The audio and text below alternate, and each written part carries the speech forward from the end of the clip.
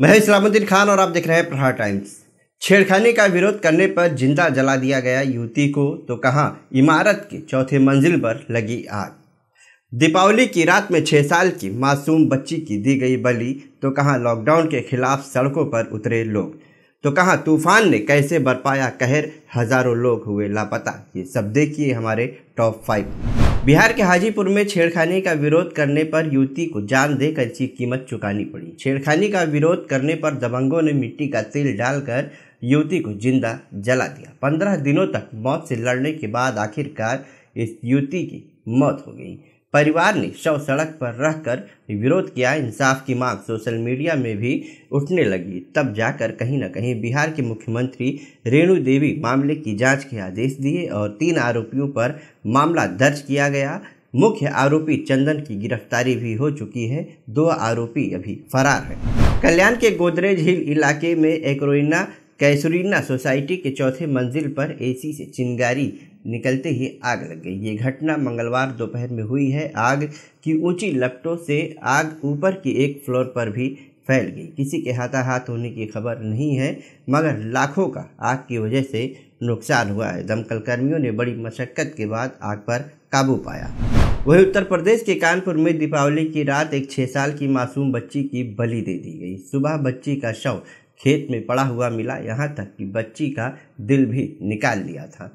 दीपावली के दिन छः साल की मासूम बच्ची घर के बाहर खेल रही थी और दिए रखने के लिए खेतों में गई, मगर उसकी दो बहनें खेतों से वापस आ गई और ये छः साल की श्रेया वापस नहीं आई।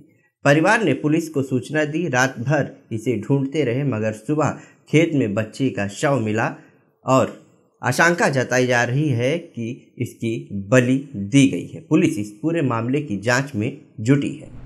वहीं जर्मनी में दूसरी बार कोरोना महामारी की लहर बढ़ती ही जा रही है और सरकार ने इससे निपटने के लिए चार हफ्तों का आंशिक लॉकडाउन लगा दिया है। इस लॉकडाउन के खिलाफ जनता सड़कों पर उतर गई है और सरकार के खिलाफ नारेबाजी करते हुए लॉकडाउन हटाने की मांग कर रही है। यहाँ तक कि प्रदर्शन के दौरान पुलिस और आम जनता आमने सामने आ गई पुलिस ने पानी की बौछार की तो जनता ने भी पानी की बोतल और पत्थर फेंके।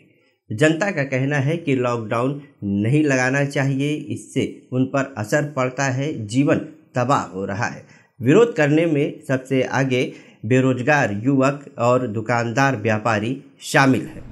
फिलीपींस में बामको नामक तूफ़ान ने कहर बरपा दिया है। जहाँ तक आपकी नज़र जाएगी, पानी ही पानी आपको नज़र आएगा। इस तूफ़ान ने किस तरह से तबाही मचाई है, ये तस्वीरें ही बयां कर रही हैं। तूफ़ान से अब तक सड़सठ लोगों की मौत हो गई है तो सैकड़ों लोग घायल हैं। हज़ारों की संख्या में लोग लापता बताए जा रहे हैं।